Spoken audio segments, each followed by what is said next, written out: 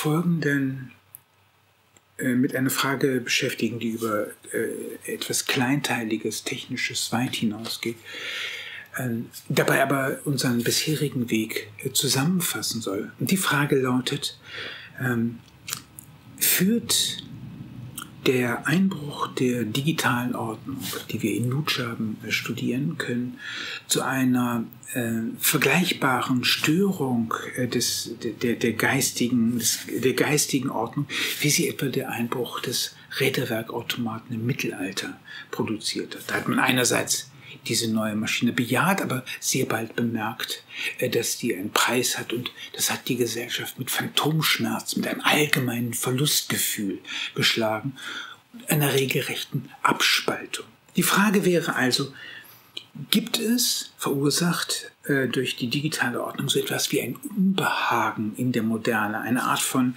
Abspaltungswunsch, den, den Wunsch, diese Ordnung eigentlich nicht zur Kenntnis zu nehmen.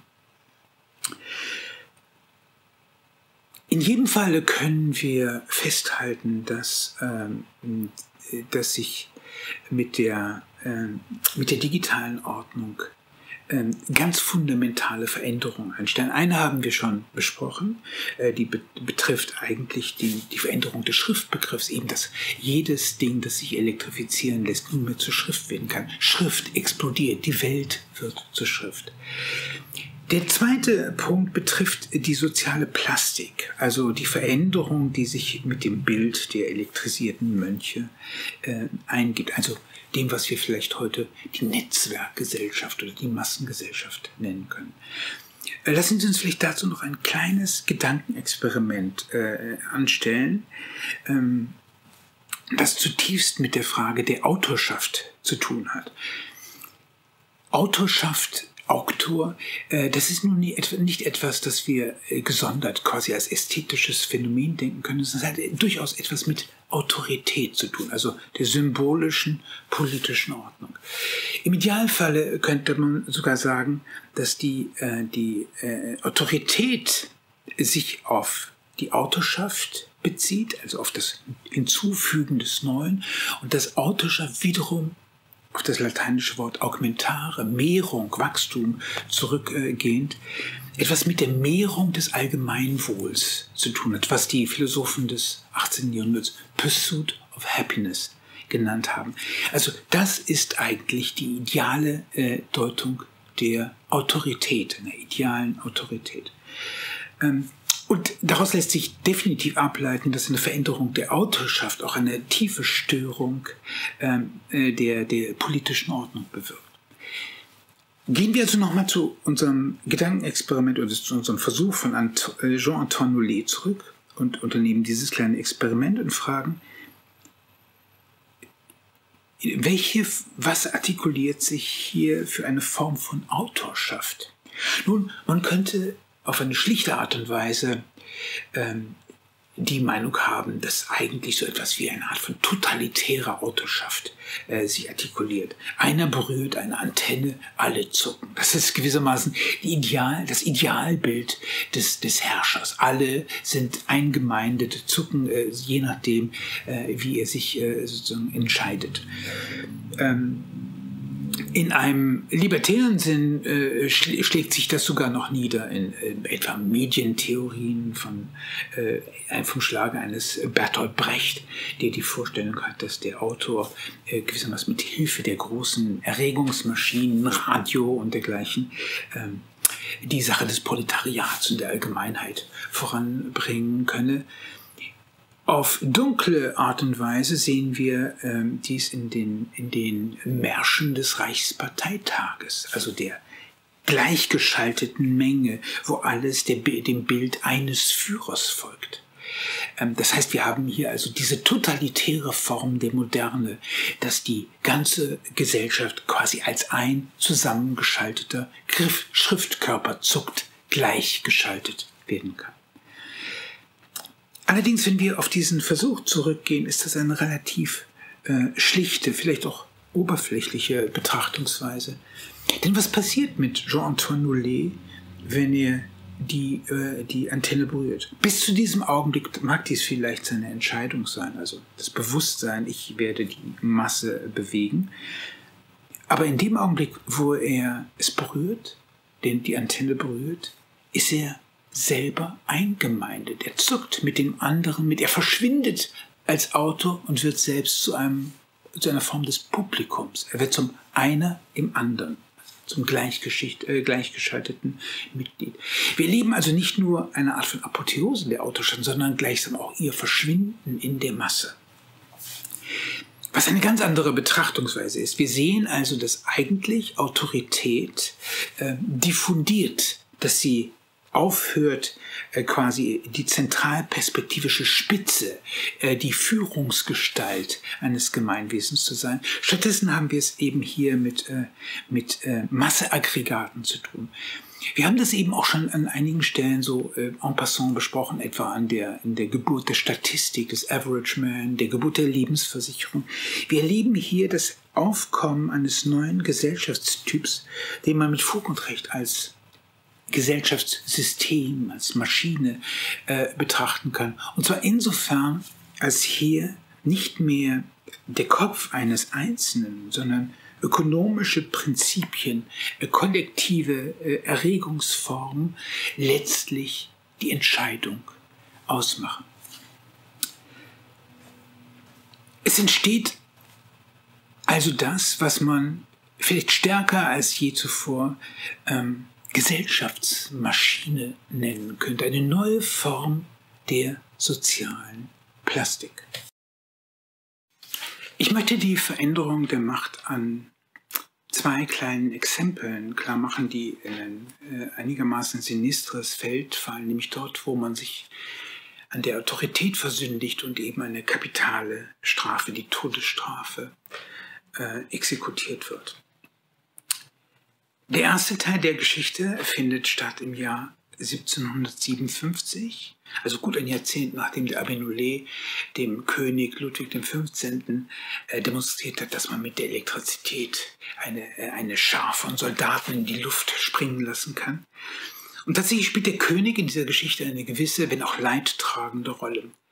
Die Hauptrolle fällt einem jungen Mann zu, Robert Le Diable, der Teufel Damien, der in äh, Paris bei den Jesuiten eine Art Haushofmeister gewesen ist, aber entlassen worden ist, äh, in sein Heimatdorf in der Nähe von Arras zurückgegangen ist und aus irgendeinem Grunde, vielleicht einem religiösen Wahn folgend, der Meinung war, dass die Weltordnung nur wiederhergestellt werde, werde wenn man den König töte. Also macht er sich auf den Weg mit einem Messer im Gepäck im Januar 1757, lauert dem König auf, versucht ihn äh, zu töten. Aber das wird verhindert und lässt sich dann also auch durchaus willenlos festnehmen. Aber der König wird von einer Art von Depression geschlagen. Er kann sich nicht vorstellen, dass irgendein Schäfchen ihm übel äh, wollen äh, kann. Und er versteht vor allem die Motivation nicht. Anstatt äh, den äh, Attentäter hinrichten zu wollen, besucht er ihn also im Gefängnis und versucht, etwas über seine Beweggründe herauszubekommen. Das verhindert gleichwohl nicht, dass der Justizapparat, all die Beamten, Minister und dergleichen der Meinung sind, dieses Verbrechen muss geahndet werden. Und so kommt's. Äh, Damien wird also des Regizids, des Königsmordes für schuldig befunden. Man bricht ihm die Beine und man schleppt ihn an einem Tag schließlich auf den Richtplatz. Da wird seine Hand die Hand, die das Messer geführt hat, äh, verkohlt, schließlich abgeschlagen. Dann fügt man ihm schreckliche Schnittwunden zu, denn diese Schnittwunden gießt man heißes Wachs, äh, Öl, äh, siedendes Öl, Pech, Schwefel, was immer man sich denken kann, fügt dem armen Mann die unvorstellbarsten Schmerzen zu. Äh, das reicht aber nicht, denn es gilt, diesen Mann zu vierteilen. Also muss man sich äh, der Hilfe von sechs Pferden bedienen, aber das klappt nicht. Der Henker muss also beispringen, muss die Sehnen in Armen und Beinen trennen und dann ist es soweit. Der Körper äh, des Robert äh, Damien ist äh, zerrissen. Äh, man vernichtet danach sein Haus und äh, bewirkt, dass niemand sich äh, äh, je auf diesem Haus wieder ansiedeln darf. Seine Familie wird verbannt. Also sein ganzes, äh, äh, sein, seine ganze Gegenwart, Vergangenheit, alles wird gelöscht und ausgemerzt. Was nicht verhindert, dass in eine gewisse, in einer gewissen äh, Weile dann äh, Verschwörungstheorien zirkulieren. Man glaubt eigentlich, dass er es nicht allein gewesen ist, dass der Jesuitenorden dahinter steht. Und tatsächlich infolge dieser Verschwörungstheorien wird der Jesuitenorden 1764 verboten. Zeitsprung, eine Generation weiter, der gleiche Ort, Grève, Richtplatz. Da steht jetzt die Guillotine. Eine Maschine, die erfunden worden ist, um die Exekution zu humanisieren. Urheber Ignace Guillotin, ein Arzt, ein Philanthrop, der hat es bei verschiedenen Tieren versucht, äh, wie man auf möglichst elegante Art und Weise Kopf und Körper trennen kann, hat mit den Klingen gearbeitet, äh, hat die Klinge geschliffen und jetzt steht diese Maschine da und ist zum Einsatz bereit. Der Übeltäter hat lange warten müssen auf diesen Moment, hat am Ende sogar Bettelbriefe geschrieben, dass man endlich äh, zur Sache käme. Und es passiert, die Klinge fällt, das Geschäft ist erledigt, Kopf und Körper sind getrennt. Das Publikum, das Publikum ist unzufrieden, das Publikum revoltiert, das Publikum sagt, es wolle sein Potence, seinen alten Galgen wieder haben. Und warum? Weil man den Übergang vom Leben zum Tod, weil man das Sterben, die Agonie nicht bemerken kann. Der Tod wird gewissermaßen in die Abstraktion überführt. Das hat einige merkwürdige Begleiterscheinungen. Äh, äh, Gegenüber der Place Grève siedelt sich ein Restaurant, auf dem man die Tageskarte bekommt, auf der anderen Seite die äh, Liste der Todeskandidaten. Aber irgendwie will sich der Inuit die Langeweile über diese eintötige äh, äh, Metzelei irgendwo nicht richtig äh, befriedigen äh, lassen. Also denkt man darüber nach, ob man das Ganze nicht vielleicht ein bisschen farbenfroher gestalten könnte, zum Beispiel indem man mehrere Guillotinen gewissermaßen zusammenschaltet und so sieben auf einen Streich mit einem Schlag enthauptet werden. Wird zwar nicht realisiert, aber ist eine Fantasie. Es gibt relativ wenige äh, Augenzeugenberichte dieser Zeit, aber Guy Lenotre, der französische Historiker, hat einen Bericht eines äh, Priesters äh, äh irgendwie äh, erzählt. Der äh, hat seinen Beichtkindern versprochen, einer adligen Familie sie bei ihrem letzten Gang zu begleiten. Und eines Tages ist es soweit. Ähm, der Priester ist heimgesucht von Entsetzen. Allein die Idee, äh, dass er dort äh, auf diesem Richtplatz erscheinen muss, äh, schlägt ihm mit Übelkeit und Erbrechen. Trotzdem findet er sich ein an der Conciergerie, sieht zu, wie die Todeskandidaten auf die Karren verbracht werden und erstaunlicherweise nicht auf direkten Wege, sondern mit Umwegen zur Plastikgräf verbracht werden. Warum diese Umwege? Die hatte, die hatte äh, die Nationalversammlung, das Wohlfahrtskomitee, haben die eigens äh, äh, äh, inszeniert, damit das Publikum die Agonie der Todeskandidaten sehen kann. Wie bei Hitchcock. Man sieht das Messer nicht bei Psycho, man sieht das Messer nicht eindringen in den Körper der Frau, man sieht aber sozusagen im Schnitt die Abstraktion des Todes. Man hört den Tod, man sieht das Ganze drumherum, aber man sieht den Tod nicht mehr. Der Priester läuft also mit. Es kommt zu einem Regenguss und weil die Menschen, äh, äh, weil das Spektakel für sie auch nicht mehr so interessant sind, dass man dafür äh, riskiert, nass zu werden, verlaufen, verläuft sich die äh, Gemeinde der Schaulustings, gehen relativ wenig Menschen auf den Richtplatz, darunter eben auch der Priester. Er sieht, wie seine wie seine Schäflein, denen er die, äh, denen das, die Beichte auf dem Karren abgenommen hat, wie sie dekapitiert werden. Aber geht er danach? Flieht er den Ort des Geschehens? Nein.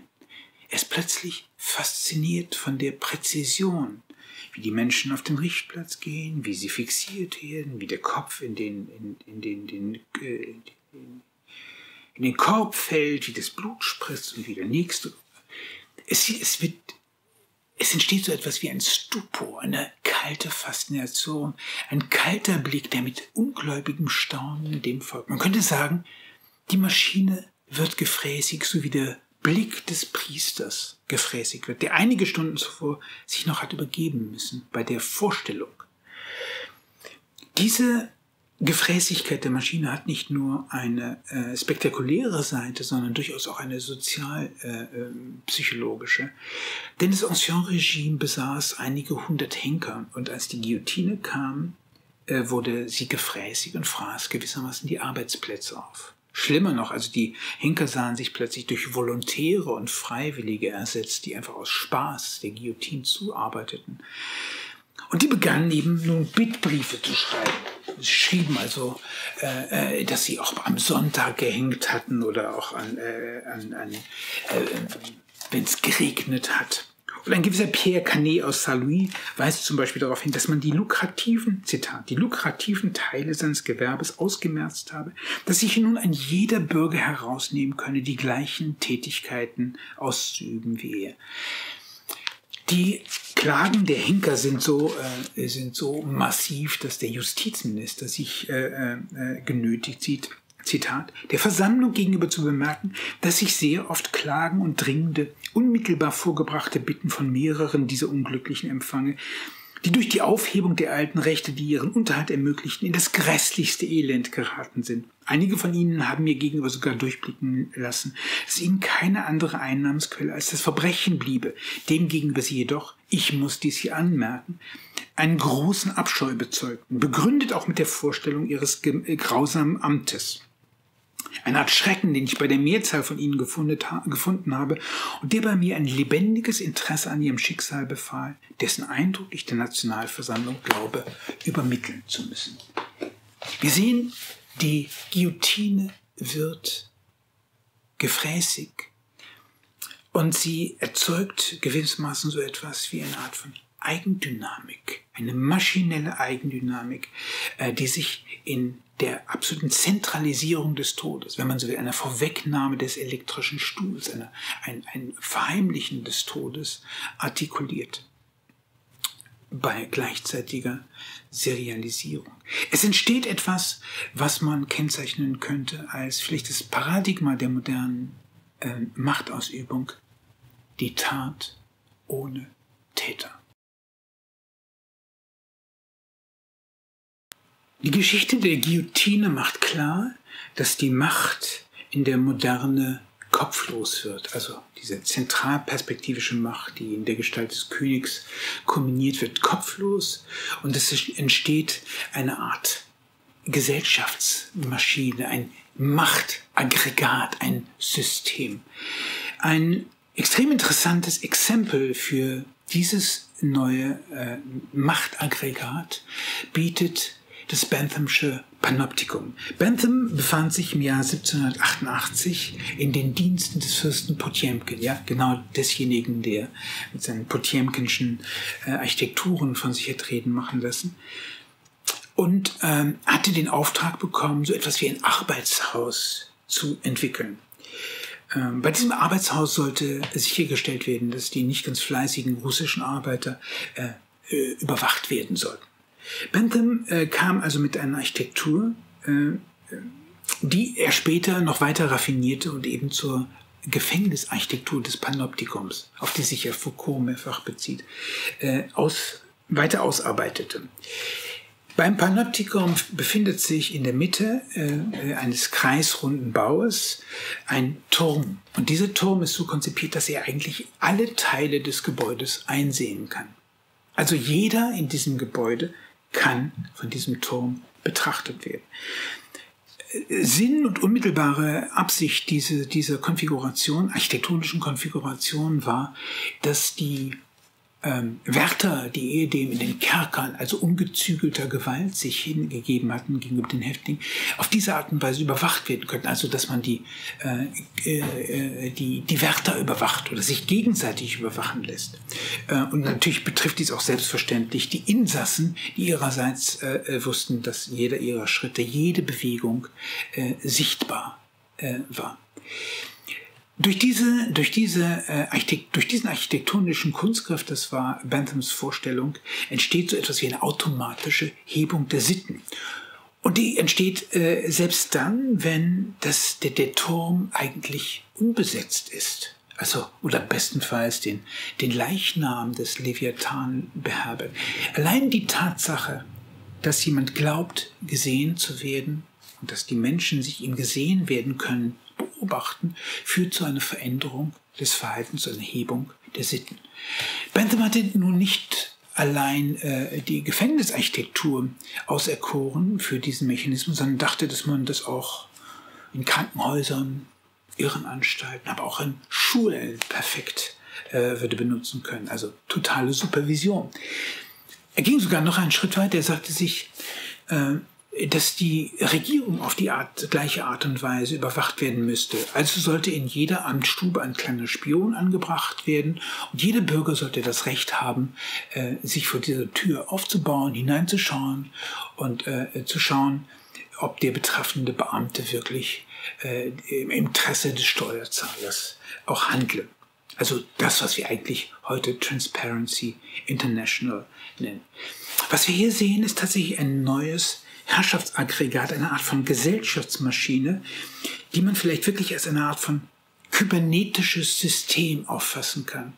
Es ist kein Zufall, dass in dem gleichen Jahr, als, als Bentham sein Arbeitshaus konzipiert, der Erfinder der äh, Dampfmaschine, James Watt, äh, äh sozusagen quasi ein, ähm, ein Centrifugal Governor also äh, Governor konzipiert, also eine Art von Regler, der automatisch dafür sorgt, dass Dampf beim bestimmten Druck Dampf abgelassen oder äh, gewiss wird oder sich die Maschine schließt.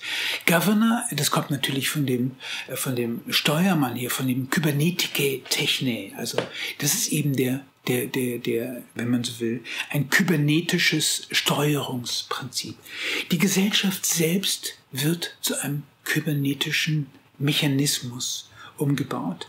Und hier spielt nicht mehr der Einzelne die entscheidende Rolle, sondern, wenn man so will, die Gesellschaft der Menschen, die im Netz hängen, die gemeinsam zucken.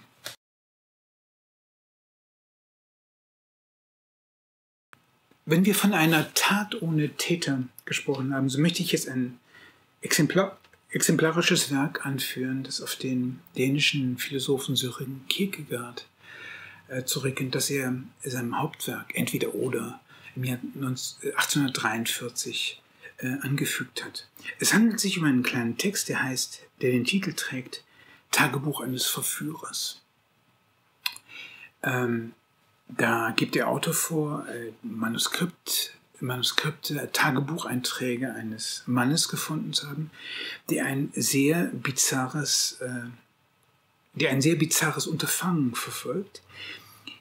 Ähm, er möchte eine junge Frau verführen und zwar so, dass diese niemals äh, sagen kann, dass sie von diesen Betreffenden in irgendwelche Misslichkeiten, Kalamitäten hineingebracht werden. Also die, der Akt der Verführung soll selbst vollständig unsichtbar gemacht werden. Es geht also um die Dissimulation, um die Auflösung, um das Unsichtbarmachen der Tat. Also um eine Tat ohne Täter, zumindest in einem gesellschaftlichen Sinn. Ähm, interessant ist nun die, äh, die, das Selbstverständnis dieses Verführers. Anders als etwa ein Don Juan, der sich gewissermaßen über die Serie, über das Gesetz der Serie, das eine Frau nach der anderen flachlegt, äh, als Verführer äh, versteht, äh, begreift sich dieser Verführer äh, als Beispiel, äh, äh, dem Beispiel des Fausts folgen, der nur einer einzigen Frau, Gretchen, den Kopf verdreht, ähm, als intensiver Verführer. Es geht also nicht um das Gesetz der Serie, sondern um die intensivste, das heißt absolute Macht. Wie aber erringt man die absolute Macht über einen anderen Menschen? Das ist also die Frage. Ähm, hier bedient sich der Verführer einiger interessanter Kunstquellen. Er hat zum Beispiel bemerkt, dass eine, äh, ein junger Mann ein großer Fan seiner, seines Opfers ist.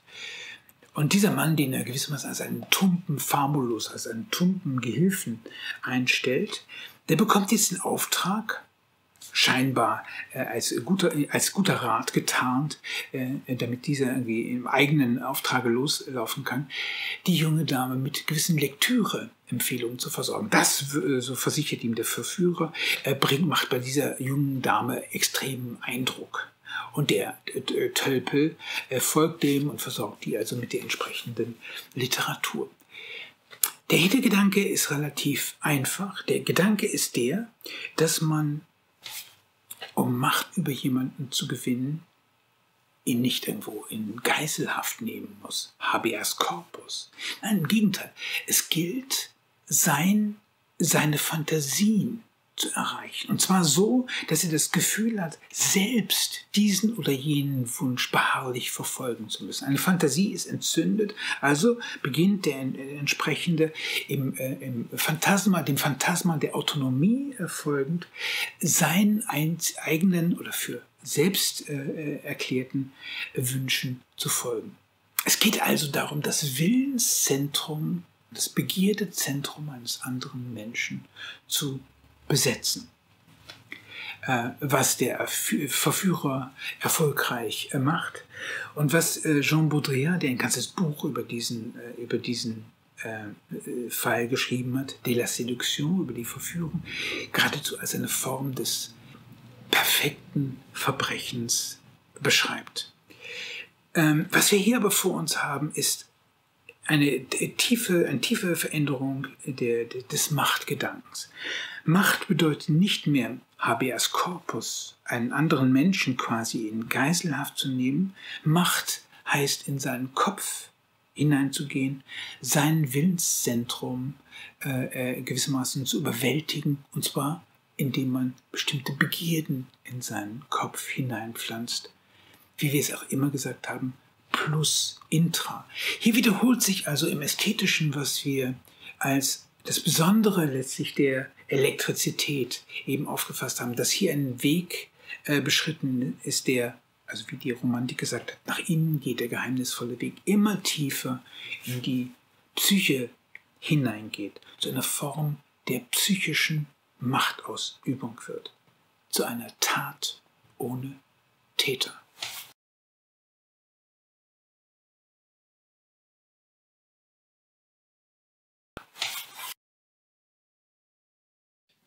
Was Sören Kierkegaard im Privaten in der Form des Geschlechterkrieges abhandelt, hat selbstverständlich auch eine gesellschaftliche, eine politische Dimension. Als äh, ein als Verführer par excellence tritt im 19. Jahrhundert äh, Napoleon III. in Erscheinung.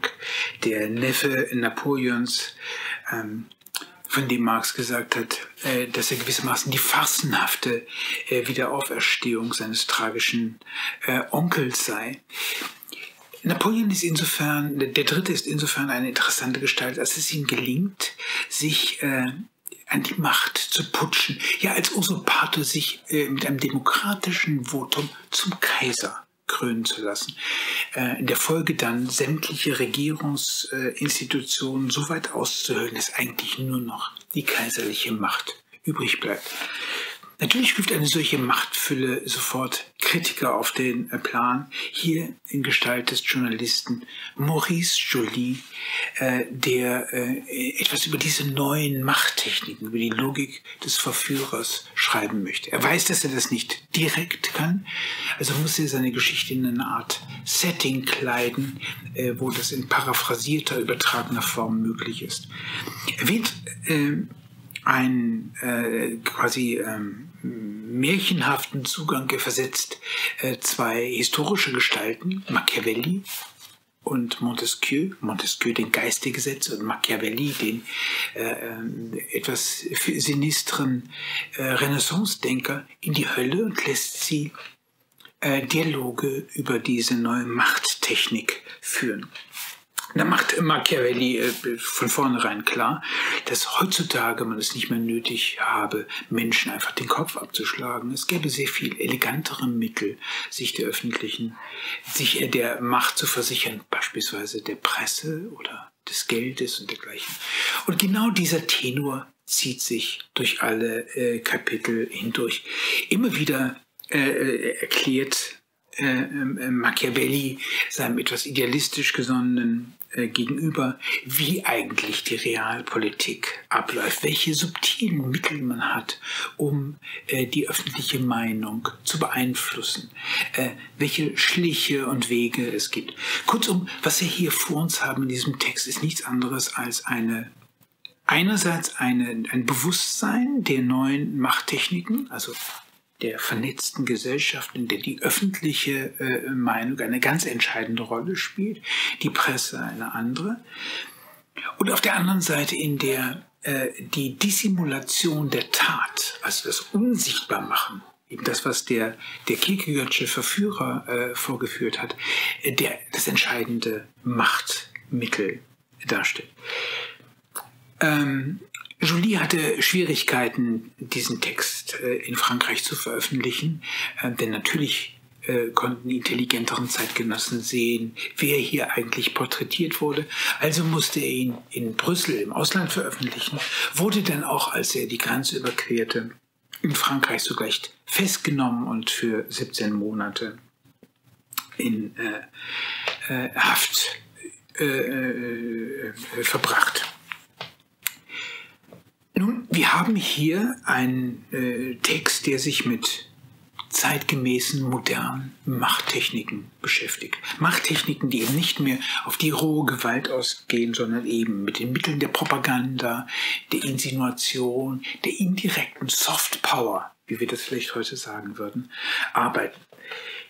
Nun ist die Frage, wie kann aus diesem Text, der sich mit einer auf äh, ganz realistische Art und Weise mit einer zeitgemäßen Figur auseinandersetzt und ihren Praktiken, wie kann aus diesem Text das ominöseste Manuskript werden, äh, das das 20. Jahrhundert dann gesehen hat, die Protokolle der Weißen von Zion. Wie kann also ein realistischer Blick sich zu einer Verschwörungstheorie wandeln? Hier kommen wir zu einem Punkt, äh, der einigermaßen bemerkenswert ist, also zum äh, äh, Aufflammen letztlich des Antisemitismus, äh, vor allem des rassischen äh, äh Antisemitismus in der zweiten Hälfte des 19. Jahrhunderts. Das heißt wesentlich äh, mit einer auch veränderten Wahrnehmung der Realität zu tun, in, wenn man so will, auch ähm, ersten Unbehagen in der Moderne, das sich äh, in, auf neuartige, fremdartige Weise zeigt. Das Jahr 1868 ähm, war charakterisiert dadurch, dass die Verheißung der Modernisierung ähm, also das immer, das immer steigende Wachstum, äh, Mehrwert und dergleichen, mit einer ersten Wirtschaftskrise konterkariert wurde. Man sah plötzlich eine Serie von Bankrotten, die mit dem Telegrafenkabel gewissermaßen von einem Land zum anderen sich fortpflanzten. Äh, und es entstand die Vorstellung, äh, dass äh, vieles dort nicht mit rechten Dingen zugeht. Dass also irgendwo dunkle Mächte am Werk sein müssten. Ähm, was lag es näher, als da auf den klassischen Sündenbock zu verfallen, also das internationale Finanzjudentum zum Beispiel. Eines der ersten Werke war das des Philosophen Eugen Düring, eigentlich eines materialistischen, positivistischen Denkers, der zudem der Sozialdemokratie zuneigte, der gleichwohl in, äh, äh, vor allem in den Juden, in, äh, die, äh, äh, die äh, Parasiten eines Gesellschaftssystems sagen, die, die das Ganze gewissermaßen zersetzen. Also wir haben den Zusammenhang von Symbolon und Diabolon, also diese diabolische Existenz. Die rührte, äh, so Düring, den Nietzsche ganz treffend das moralische Bum-Bum, also ein Großsprecher der Moral äh, bezeichnete, die rührte gar nicht so sehr äh, aus dem mosaischen, also jüdischen Glauben, sondern vielmehr aus ihrer Rasse. Also die Juden als Rasse äh, sind gewissermaßen das destruktive, zersetzende Element. Das war der Gegenstand seiner Schrift über die Judenfrage, der weit rezipiert wurde und äh, zum, äh, zum äh, Anwachsen des Antisemitismus beitrug. Im Jahr 1892 äh, kommt eine ähnliche, ähnlich finstere Schrift in Frankreich äh, äh, zum Tragen. Edouard Drumonds La France Juive, also das verjudete Frankreich. Da werden ähnliche Dinge laut. Und Antisemitismus verbreitet sich, wird gewissermaßen zum guten Ton in der Gesellschaft. Theodor Fritsch beispielsweise veröffentlicht seinen äh, Antisemiten-Katechismus, eine Art von Vademekum, äh, bei der abermals der, das internationale Finanz Judentum als äh, Verursacher aller gesellschaftszersetzenden Tendenzen äh, betrachtet.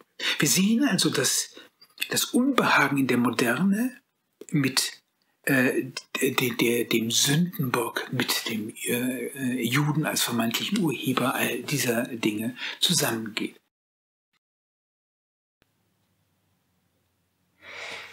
Wie kommt es nun dazu, dass Jolies Kritik an der Regierungstechnik ähm, sich mit der Frage des Antisemitismus vermählt. Wie kann also eine zeitgemäße ähm, Machttechnologie plötzlich zu, einem, zu einer jüdischen Weltverschwörung werden? Hier nähern wir uns einem Manuskript, das sich weitlich bei äh, Maurice Joly bedient hat, dem aber das Ganze aber in, eine, äh, in einen fiktiven Rahmen eingesponnen hat. Es handelt sich um das Werk äh, eines deutschen Postbeamten, der aufgrund einer Machenschaft aus dem Postdienst entlassen worden ist, eine Unterschlagung, und fortan sein Glück als Romanschriftsteller unter dem klangvollen Pseudonym Sir John Radcliffe gesucht und gefunden hat. Der hat also das äh, Joliesche Manuskript gelesen und äh, baut es in einen Schauerroman ein, Biarritz, der äh, an einer bestimmten Stelle äh, in Prag auf dem alten Judenfriedhof zu Prag spielt. Das Setting ist äh, relativ simpel beschrieben. Ähm, auf diesem Friedhof versammeln sich alle 100 Jahre, auf dem Friedhof, wo übrigens auch schon der Rabbi Löw, also der Golem, äh, sich äh, breit gemacht hat. Auf diesem Friedhof versammeln sich alle 100 Jahre die zwölf Stämme Israels und äh, beratschlagen über das Schicksal der Juden. Ein Dreizehnter ist zugegen, der also mit höhnischem, häufig auch bei, äh, Beifalls äh, äh, kundgebenden Gelächter die Szene kommentiert. Das ist der Teufel, also höchst, höchst selbst. Die versammeln sich da und geben also ihre Ratschläge zum Besten. Es gibt zwei Zeugen dieses Geschehens, die sich irgendwo in einem Gebüsch versteckt äh, äh, das anschauen. Das ist einerseits ein deutscher Wissenschaftler, der sich in der Kabbala kundig machen wollte und zu diesem Berufe einen äh, christianisierten italienischen Freund äh, dabei hat, der äh, ihn einführt in die Gesetze des jüdischen Denkens. Die beiden bekommen also mit, was da in mitternächtlicher Stunde auf diesem Friedhof passiert. Also tritt ein, äh, Stamm Israel, Benjamin und so weiter, wie sie auch alle heißen mögen, äh, hervor und äh, sagen also, was die Rezepte sind, um die jüdische Weltherrschaft zu erringen. Da geht es im Wesentlichen darum, eben, dass man nicht Menschen äh, einfach dekapitiert, enthauptet, sondern dass man ihre Begierden dominiert. Durch diese simplen Techniken Geld und Presse in der Regel. Geld regiert die Welt, das ist das Primat, von dem alles ausgeht. Der erste kommt auf den Gedanken, dass man das Finanzsystem eigentlich äh, dominieren muss, dass man äh, Wucher, zu, zu, Geld zu Wucherzinsen verleiht und auf diese Art und Weise das gesamte, gesamte Geldsystem und Bankensystem dominiert. Äh, zum Zweiten kann man dann sich äh, äh, kann man dann Lehen oder Hypotheken auf Land ausgeben äh, und im Laufe der Zeit die Landbesitzer in Schuldknechtschaft bringen. Wenn man dazu noch den kapitalismusfreien Warenaustausch befördert, äh, geraten die Firmen in Konkurrenz zueinander, die Profite sinken, abermals äh, so quasi Kredite werden ausgegeben, man bringt sich in den Besitz der Firmen. Äh, dann geht es weiter, dass man äh, die Institutionen unterwandert und die Gesetzgebung etwa in, Richtung auf äh, Finanzpraktiken und dergleichen äh, beeinflusst. Dann unterwandert man äh, die Erziehung, um die Köpfe der jungen Menschen in Zukunft eben auch zu dirigieren. Ähm, dann, dann entwaffnet man das Militär und verlagert eigentlich die Gewalt ins Innere, schwächt damit den allgemeinen Wehrwillen der Bevölkerung. Dann macht man sich selber unsichtbar, indem man sich mit Christinnen vermischt und Mischehen. Und auf diese Weise äh, kann das Judentum, das offenbar immer als Rasse äh, sehr viel widerständiger ist, ähm, seine Dominanz gewinnen. Äh, schließlich äh, geht es darum, die, die Presse und die öffentliche Meinung äh, zu beherrschen. All diese Rezepte sind äh, häufig wörtlich aus, der, aus, dem, aus, dem Text, aus dem Text von Maurice Joly einfach abgeschrieben. Äh, und die Beigabe letztlich, die Hermann Götzsche alias Sir John Radcliffe äh, gegeben hat, ist eigentlich nichts weiter als dieses Schauermoment. Mit dem kleinen, mit dieser kleinen Wendung, dass avancierte Machttechniken, die auf der Logik sozusagen quasi des Kierkegaardschen Verführers laufen, plötzlich zu einer Verschwörung mutieren, die allein den Juden anzulasten ist. Wir sehen also, dass das Unsichtbarwerden der Macht, die Tat ohne Täter, äh, sich zu einer Verschwörung verwandelt und diese, diese Urheber dieser Verschwörung sind die finsteren äh, Juden. Es ist die jüdische Rasse. Die Frage stellt sich, wie kann ein solches Schauerstück ähm, eindeutig ein Werk der Fiktion, wie kann dies plötzlich den Anstrich eines zeitgeschichtlichen Dokumentes bekommen, eines authentischen Dokumentes, das von irgendeinem Teilnehmer des Basler Zionistischen Kongresses 1897 geleakt worden ist, also irgendwo als Protokoll eines authentischen Geschehens ähm, in die Welt hineingeraten ist. An dieser äh, Stelle kommt wiederum ein Agent ins Spiel, der weder Deutscher noch äh, Franzose äh, eigentlich überraschend ist, wie überhaupt die ganze Wendung. Plötzlich nämlich haben wir es mit Piotr Raschkowski zu tun, dem russischen Leiter ähm, des Pariser Büros des äh, zaristischen Geheimdienstes, der Okraner. Was sollte die Okraner, was sollte der russische Geheimdienst äh, für ein Interesse haben, ein äh, Dokument zu fälschen und es als eine authentische, als eine authentische Mitschrift äh, auszugeben. Der Hintergrund ist einfach, Russland litt besonders unter diesem Unbehagen in und an der Moderne. Deswegen, weil das Land weitgehend rückständig war. Bis 1871 kannte man Leibeigenschaft. Ähm, und unter dem Zar Alexander II. eine Form der Modernisierung von oben erlebt hatte. Es gab also Eisenbahn, plötzlich schwere Industrie und dergleichen, aber es gab eben auch Phantomschmerzen, die es äh, ein nicht wahrnehmen wollen, nicht wahrhaben wollen, diese neuen Gesetzmäßigkeiten. Und was liegt es dann näher, als kurzerhand einen Schuldigen äh, dieser, äh, der, der unbequemen äh, äh, modernen Begleitumstände klarzumachen? Die Juden. Ratschkowski fühlte sich möglicherweise auch dadurch äh, ermutigt, dass mit Nikolaus II. ein veritabler Antisemit ähm, den Thron bestiegen hatte. Später fand man in Nikolaus II. Bibliothek äh, dieses, dieses äh, Manuskript. Ähm, und er fabrizierte äh, diesen Text, schrieb eine übrigens sehr, sehr schlechte Arbeit. Der, und man kann sich ernsthaft fragen, warum die Leute einfach nicht darüber gestolpert sind. Diese verschiedenen, vollkommen heterogenen Dinge waren nicht mal besonders intelligent zusammengesetzt.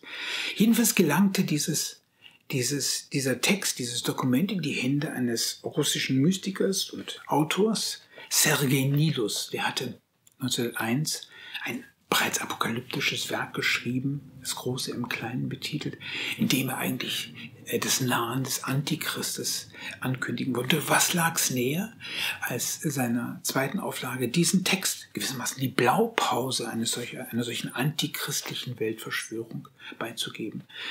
Russland war seit 1903 in einer, in einer, einer Serie von Pogromen gefallen.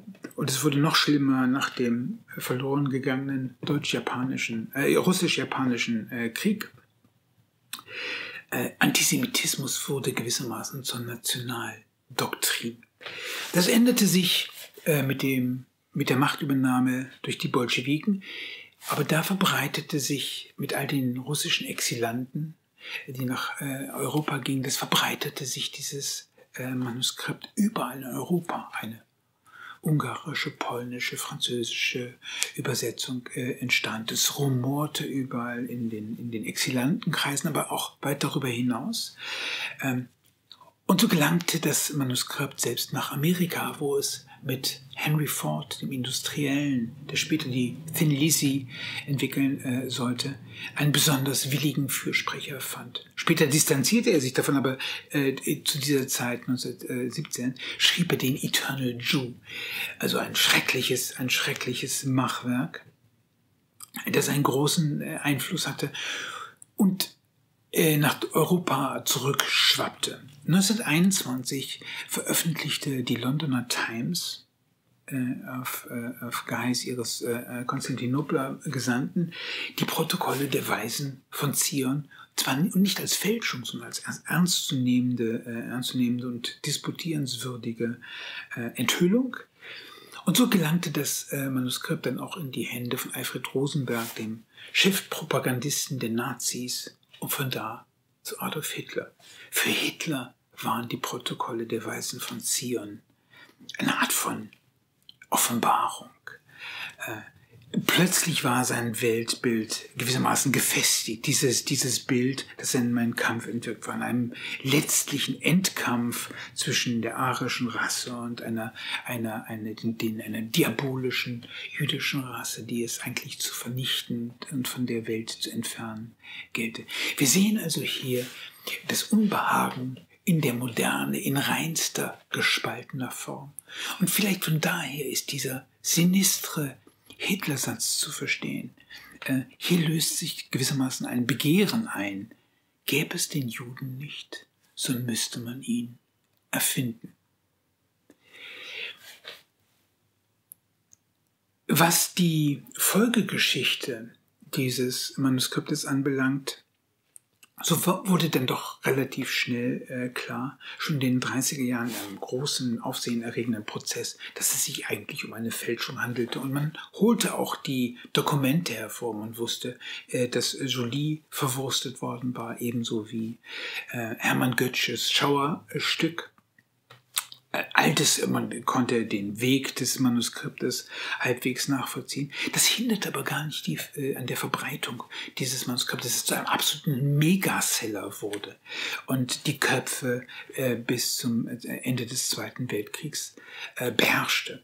Nach dem Zweiten Weltkrieg wanderte das, äh, äh, das Buch in den arabischen Raum, wurde zu einem Bestseller. Aber es wanderte selbst in so entlegene Bereiche wie Japan, wo es 35 Auflagen erlebte, obwohl die Japaner äh, keine Juden und auch äh, keine nennenswerte Minderheit haben.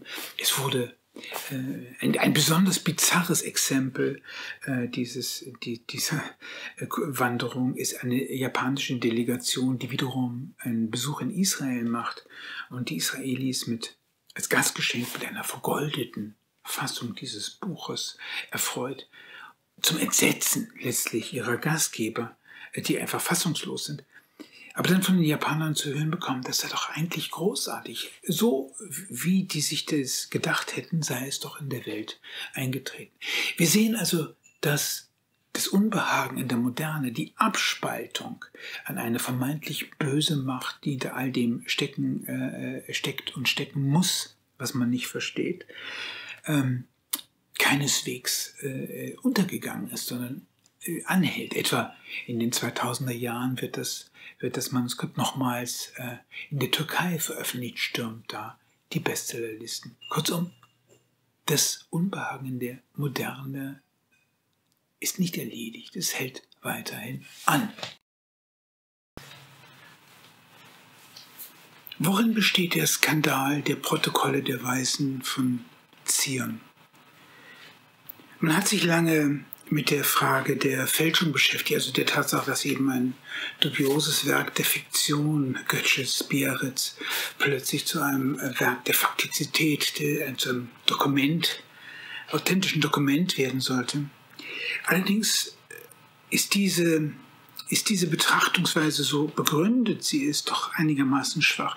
Nicht nur, dass, das, dass diese Fälschung handwerklich unglaublich schlecht gemacht worden ist und dass eigentlich jeder äh, halbwegs äh, äh, äh realistische Kopf hätte sagen müssen, dass es, äh, dass es hier nicht mit rechten Dingen zugeht. Darüber hinaus überblendet diese Frage den sehr viel tieferen Skandal, den ich mit diesem Titel Unbehagen in der Moderne äh, habe anklingen lassen wollen. Also dem, der Tatsache nämlich, dass man, indem man die Moderne gewissermaßen als eine jüdische Weltverschwörung äh, darstellt, das eigene Mittun äh, die Conditio Humana in der Moderne eigentlich ausblendet. Ähm, die Macht ist eine dunkle Macht, das sind Aliens, das sind fremde, obskure Wesenheiten, die den ehrlichen, äh, den ehrlichen Arbeiter, äh, der auf seiner Scholle sitzt, Blut und Boden, äh, gewissermaßen aussaugen. Eine fremde, vampireske Macht. Man könnte die äh, Frage stellen, ob tatsächlich diejenigen, äh, äh die sich dieser äh, Verschwörungstheorie äh, äh, verschrieben haben, ihrerseits eigentlich abstinent waren in Hinsicht auf die Nutzung der modernen Machttechniken. Und hier kommen wir zum eigentlich interessanten Punkt, für den letztlich dieses Hitler-Zitat Gäbe es den Juden nicht, so müsste man ihn erfinden, stellvertretend steht. Denn indem man der Illusion folgt, dass eine böse, fremdartige, feindliche Macht bereit ist, gewisse Mittel gegen einen selbst äh, in, äh, einzusetzen, Mittel, die man selber verdammt, ähm, ist man dann doch geneigt, quasi als, äh, ähm, als, als, als zur Selbstwehr, zur Selbstverteidigung genau diese Mittel prophylaktisch gegen den Feind einzusetzen. Also man verleibt sich die Moderne ein, aber ohne die Verantwortung dafür zu tragen, weil dort der Aggressor eigentlich schuld ist daran, dass man diese Mittel benutzt. Auf diese Weise kommt es tatsächlich zur Tat ohne Täter. Äh, zu einer geradezu zu einer Enthemmung äh, eines eines eines äh, äh eines Gewaltaktes, äh, äh, ähm, für den der Betreffende keine Verantwortung übernimmt. Man könnte sagen, dass die Moderne sich hinterrücks der Geister bemächtigt. Taten, wohlgemerkt, ohne Täter. Äh, selbstverständlich ist genau das eigentlich die sonderbare Dialektik, die wir eben zum Beispiel im Nationalsozialismus eindeutig äh, benennen können. Schaut man sich die Ästhetik an, dann sieht man den Bauern, der wehrhaft und zugleich äh, äh in alter Sitte gemäß auf äh, seiner Scholle fest, festsitzt, Blut und Boden, mit dem äh, im Schweiße seines Angesichts der Arbeit nachgeht. Irgendein Idyll, ein bäuerliches Idyll aus dem 19. Jahrhundert. Schaut man sich die Praktiken der Nazis an, etwa die Art und Weise, wie, wie, wie sie in den 20er Jahren bereits Propaganda betrieben haben, sieht man eine hochmoderne Medienmaschine. Goebbels äh, mit seiner Aussage 90% Unterhaltung, 10% Propaganda, das ist hypermodern. Und auch die Umarmung letztlich der, des hollerischen Lochkartenautomaten, der datenmäßig betriebene Genozid, sprechen eine ganz andere Sprache.